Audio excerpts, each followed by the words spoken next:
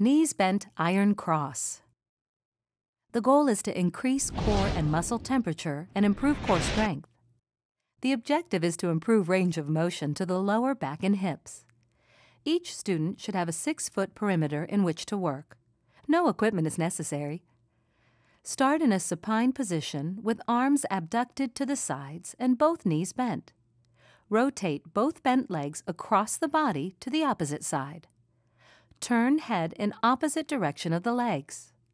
Repeat 10 times in each direction.